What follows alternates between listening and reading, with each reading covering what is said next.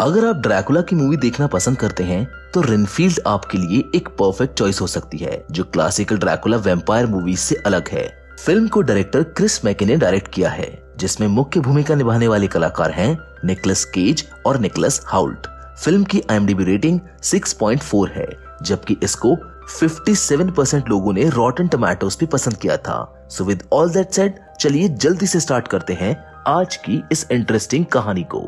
Hollywood silver screen presenting Renfield movie start होती है एक सपोर्ट ग्रुप को दिखाते हुए, जहाँ पर बहुत सारे परेशान लोग अपनी प्रॉब्लम्स और अपने रिलेशन के बारे में बताते हैं, जिससे उन्हें उनकी प्रॉब्लम्स का सोल्यूशन ढूँढने में मदद मिले। अभी उस जगह पर कुछ लोग अपनी प्रॉब्लम्स डिस्कस कर रहे हैं। वहाँ पर एक आदमी बैठा हुआ है, जिसका नाम रेनफील्ड है, जो पहले एक रियल एस्टेट वकील हुआ करता था। उसके दिमाग में उसकी पास्ट लाइफ की यादें चल रही होती हैं, जिसमें वो ट्रांसल्वेनिया के एक आदमी को कुछ प्रॉपर्टी सेल करने जाता है। ताकि उससे उसको बड़ा प्रॉफिट हो सके। वो जिसके पास प्रॉपर्टी सील करने जाता है, वो कोई और नहीं, बल्कि एक ड्रैकुला है। इस बात का उसको पता नहीं होता है। और जल्द ही दोनों अच्छे दोस्त बन जाते हैं। कुछ टाइम तक दोनों साथ होते हैं, घूमते हैं और टाइम स्पेंड करते हैं। रेनफील्ड से खुश होकर ड्रैकुला उसे अपनी पावर का कुछ हिस्सा दे देता है और उसे अपना असिस्टेंट बना लेता है। ड्रैकुला की पावर से उसकी ज़िंदगी पूरी तरह बदल जाती है।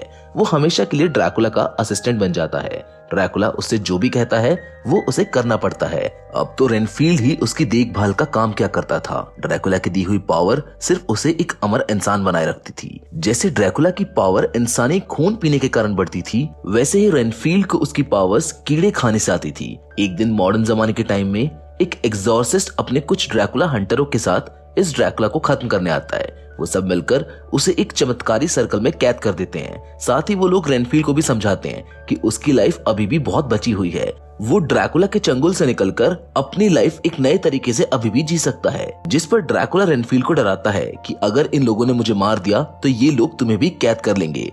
इस बात पर डर के मारे रेनफील्ड उस घेरे को काट देता है, जिससे ड्रैकुला एग्जॉर्सिस्ट के मुँह से उसके शरीर में घुसकर उसके पूरे शरीर को ब्लास्ट कर देता है। इस पर एक हंटर वहाँ का पर्दा हटाकर ड्रैकुला के ऊपर सनलाइट डाल देता है, जिस कारण ड्रैकुला बुरी तरह से झुलस जाता है। ये देखकर रेनफील्ड उसे फिर से बचा लेता है। अब उसकी बॉडी का थोड़ा सा हिस्सा ही बचता है। ड्रैकुला रेनफील्ड को उसे बचाने और पूरी तरह ठीक करने के लिए बोलता है। उसे ठीक करने के लिए रेनफील्ड उसे न्यू ऑर्लियंस सिटी ले आता है, जहाँ दोनों को बहुत से हंटरों से बचते बचाते नब्बे से पिचानवे साल बीत जाते हैं। रेनफील्ड ड्रैकुला का कैदी बनकर उसके लिए इंसानों को लाता रहता है। ताकि वो इंसानों का खून पीकर फिर से ठीक हो जाए और अपनी शक्तियों को वापस पा ले प्रेजेंट टाइम में ग्रुप का हेड रेनफील्ड से उसकी स्टोरी बताने को बोलता है, पर वो मना कर देता है और उससे कहता है कि इन सब बातों को सुनने से कुछ नहीं होगा।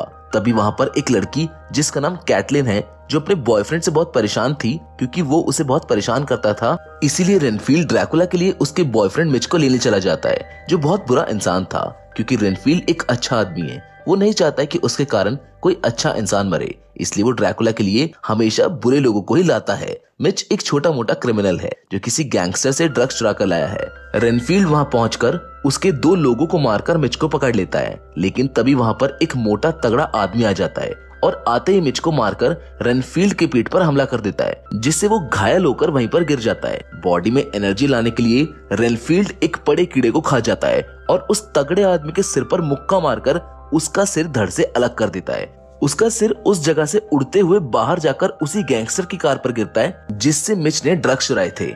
इसी ने उस आदमी को मिच को मारने भेजा था। इसका नाम टेडी है, जो शहर की सबसे बड़ी क्राइम फैमिली का बेटा है। टेडी अपने आदमी की ऐसी हालत देखकर वहाँ से भाग जाता है। एक चौराहे पर दो पुलिस वाले, रेबेका और क्रिस, दोनों गाड़ियों की चेकिंग कर रहे होते हैं, कि तभी वहाँ टेडी अपनी कार दौड़ाते हुए पहुँचता है। पुलिस वालों को देखकर वो कार से अपने ड्रग्स लेकर भागने लगता है। रेबेका उसे पहचान लेती है, जिससे वो उसका पीछा करती है। उनसे पीछा छुड़ाने के लिए टेडी उन पर ही ड्रग्स फेंकने लगता है, जिससे एक पैकेट क्रिस के मुँह पर ही फट जाता है, जिससे क्रिस को पता चल जाता है कि ये ड्रग्स है, जिस कारण रेबेका उसे पकड़कर गिरफ़्तार कर लेती है। रेनफील्ड मिच और उसके लोगों की बॉडी लेकर ड्रैकुला के पास आ जाता है, जो अभी भी ठीक नहीं हुआ है। ड्रैकुला उनके खून को चखता है, लेकिन उसे इसका स्वाद बिल्कुल भी अच्छा नहीं लगता है, जिसको वो वहीं थूक देता है और कहता है कि ये आदमी एक बुरा इंसान है, जबकि मुझे ठीक होने और अपनी पावर्स वापस पाने के लिए अच्छे लोगों की बॉडी का खून पीना पड़ेगा, जैसे नन और चीयर लीडर्स जिस पर रेनफील्ड उससे कहता है कि इसमें तुम्हारी ही गलती है, क्योंकि तुमको लोगों से सावधान रहना चाहिए था, जिससे मैं भी अपनी लाइफ अच्छे से जी पाता। उस बात को सुनकर ड्रैकुला को गुस्सा आ जाता है और वो उसका पेट काट देता है, जो उससे बोलता है कि मैं तुम्हारा बॉस हूँ, तुम्हें मेरा ख्याल रखना ही होगा। फिर वो अपने हाथ से खून निकालकर उसके पेट पर डाल देता है, क्योंकि उसके खून में हीलिंग पावर्स हैं, जिससे रेनफील्ड ठीक हो जाता है। अब उसके पास ड्रैकुला का ऑर्डर मानने के अलावा और कोई ऑप्शन नहीं था। उधर पुलिस स्टेशन में टेडी इंटरोगेशन रूम में ज़ोर ज़ोर से चिल्ला रहा होता है, लेकिन इससे पहले वो उन्हें कुछ बता पाता, वहाँ पर उसका वकील आकर उसे छुड़ा ले जाता है। इससे रेबेका बहुत दुखी हो जाती है, क्योंकि इस गैंगस्टर ने उसके पापा को उनकी ड्यूटी के दौरान मारा था। ऑफिसर ब्राउनिंग उसे समझाते हैं कि वो उसके पापा जैसे निडर है, लेकिन ये सब करके तुम अपने करियर को ही बर्बाद कर रही हो। बाहर वो अपनी बहन केट से मिलती है, जो एफबीआई में काम करती है। दोनों ने उस गैंगस्टर से बदला लेने के लिए पुलिस ज्वाइन की थी। केट रेबेका को बोलती है कि वो जानती है कि जिस गैंगस्टर ने उनके पापा को मारा है, वो वापस से छूट गया है। मैं भी उससे बदला लेना चाहती हूँ, पर अभी सही वक्त नहीं है। हम दोनों एक साथ मिलकर उससे अपना बदला पूरा करेंगे, लेकिन हमें थोड़ा प्रोफेशनल होकर काम करना होगा। हमें न्याय ज़रूर मिलेगा। टेडी अपने घर में अपनी माँ बेला से मिलने जाता है। जो उसे चिल्लाती है कि उनकी फैमिली इस शहर की सबसे बड़ी क्राइम फैमिली है। हमने एक बहुत बड़ा एम्पायर खड़ा किया है। हमारी फैमिली का फ्यूचर अब तुम्हारे हाथों में है। लेकिन तुम एक छोटी सी चीज़ भी नहीं संभाल सकते। तुम फ्यूचर में राज कैसे करोगे? तुम्हें लोगों में डर बनाकर रखना होगा। इसलिए जाओ और जाकर सारी चीज़ें ठीक करो। उधर मिच के अड्डे पर रेबेका और क्रिस दोनों वहाँ की तलाशी लेने आते हैं, जिन्हें इस जगह के बारे में टेडी ने बताया था। ये वही जगह है जहाँ पर रेनफील्ड ने उन लोगों को मारा था। वहाँ पर उनको एक खून से सना हुआ पेन मिलता है, जिससे रेनफील्ड ने मिच के लोगों को मारा था। उस पेन पर एक कैफ़े का नाम लिखा हुआ था। दोनों उस कैफ़े पर जाते हैं। उनके पीछे पीछे टेडी भी बेला के कहने पर वहाँ पहुँच जाता है। इस कैफ़े पर रेनफील्ड भी बैठा हुआ है, जो ड्रैकुला के लिए खाना लेने आया था। उसे वहाँ ड्रैकुला के मुताबिक नन और चीयर लीडर दोनों मिल जाते हैं। रेनफील्ड उनको बेहोश करने के लिए उनके पास जा ही रहा होता है, लेकिन वहाँ पुलिस को देखकर उल्टा लौट जाता है और भागने लगता है, लेकिन भाग नहीं पाता है क्योंकि दूसरी तरफ़ से टेडी के लोग गन फायर करते हुए अंदर कैफ़े में घुस जाते हैं। भगदड़ के कारण रेनफील्ड का कीड़ा नीचे गिर जाता है। उस कैफ़े में आकर टेडी रेबेका को पकड़ लेता है और उससे उसके पापा के बारे में बात करने लगता है कि मरते वक्त उसके पापा अपनी जान की भीख मांग रहे थे। तुम्हारे पापा एक डरपोक इंसान थे, लेकिन मैं तुमको नहीं मारूँगा, क्योंकि तुमसे तो मुझे एक काम है। तुम्हें बस इतना कहना होगा कि तुम मेरे लिए काम करती हो। इस पर वो फुल कॉन्फिडेंस से उसका मज़ाक उड़ाने लगती है कि तुम मुझ पर गोली चला दो। मुझे तुमसे डर नहीं लगता है, क्योंकि तुम्हें तो गन चलाना भी नहीं आता। तुम बाहर अपनी गाड़ी में बैठे रहते हो और तुम्हारे लिए कोई और काम करता है। तुझ में दम है तो चला गोली। टेडी जैसे ही गोली चलाने वाला होता है, रेनफील्ड नीचे पड़ा एक कीड़ा खाकर उस पर कूद कर रेबेका को बचा लेता है और टेडी से लड़ने लगता है। इस पर वहाँ पर भारी फायरिंग हो जाती है। रेनफील्ड उसके लोगों को बहुत बुरी तरह से मारता है और इसी बीच टेडी वहाँ से भाग जाता है। सबको ठोकने के बाद रेनफील्ड रेबेका से टेडी के सामने फुल कॉन्फिडेंस से खड़े होने पर उसकी तारीफ़ करता है, जिस पर रेबेका उसे उसकी और बाकी सबकी जान बचाने के लिए थैंक्स बोलती है और आसपास के लोग भी उसको थैंक्स कहते हैं, जिसे सुनकर उसे काफ़ी अच्छा लगता है। रेनफील्ड ड्रैकुला के पास खाली आ जाता है। ड्रैकुला अब थोड़ा बहुत ठीक हो चुका था, जो उसे अपना प्लान बताता है कि वो अपनी शक्तियाँ वापस पाने के बाद इस दुनिया पर राज करेगा। वो सबका राजा बन जाएगा और इंसानियत को खत्म करके गॉड और इविल जैसी चीज़ों को मिटा देगा। इस दुनिया में सिर्फ़ उसी के फॉलोअर्स होंगे, जिनको वो आराम से खाएगा। ड्रैकुला की इन बातों को सुनकर रेनफील्ड को बहुत बुरा लगता है, क्योंकि उसके अंदर अभी भी इंसानियत होती है, और वो इंसानियत को ऐसे ही खत्म होने नहीं दे सकता था। इसका सोल्यूशन पाने के लिए वो अपने ग्रुप के पास जाता है। जहाँ वो सबको अपने बारे में बताता है कि उसका एक बॉस है और वो इस दुनिया पर राज करना चाहता है। लेकिन वो उनको ये नहीं बताता है कि उसका बॉस एक ड्रैकुला है। इस पर वो लोग उसे सजेस्ट करते हैं कि वो अपने बॉस पर ध्यान ना दे, वो खुद पर ध्यान दे, जिससे उसका बॉस पावरफुल नहीं हो पाएगा। उनकी बात मानकर अब वो ड्रैकुला के पास जाना छोड़ देता है और अपने लिए एक अपार्टमेंट खरीद कर उसको सजाता है। वो खुद के लिए समय निकालता है और खुद के डेवलपमेंट पर फोकस करता है। साथ ही वो अपना होलिया भी ठीक कर लेता है। ये सब काम करके वो रेबेका से पुलिस स्टेशन मिलने जाता है, जिसको वो पसंद करने लगता है। वो उसे फ्लावर्स भी देता है। रेनफील्ड उस रात कैफ़े पर हुए हादसे में रेबेका को स्टेटमेंट देता है और वो कोर्ट में टेडी के खिलाफ गवाही देने के लिए भी तैयार हो जाता है। साथ ही में वो रेबेका को मोटिवेट भी किया करता था और बात बात पर उसकी तारीफ़ करता था, जिसको सुनकर वो काफ़ी खुश होती है। इधर बेला कैफ़े के सीसीटीवी फुटेज में रेनफील्ड को सबको मारते हुए देखती है। और टेडी को उसे ढूंढकर मारने के लिए भेज देती है। पुलिस स्टेशन में रेबेका अपनी बहन को वही पेन देती है जो उसको उस साइड से मिला था। रेबेका बोलती है कि जाओ और इस पेन पर लगे खून का डीएनए मैच करो। उधर टेडी अपने लोगों के साथ रेनफील्ड को ढूंढते हुए एक पुराने हॉस्पिटल पहुँच जाता है जो ड्रैकुला का बेस होता है। टेडी को वहाँ पर बहुत सारी लाशें पड़ी मिलती हैं, जिन्हें देखकर वो अपने साथियों को बेला को कॉल करने को बोलता है।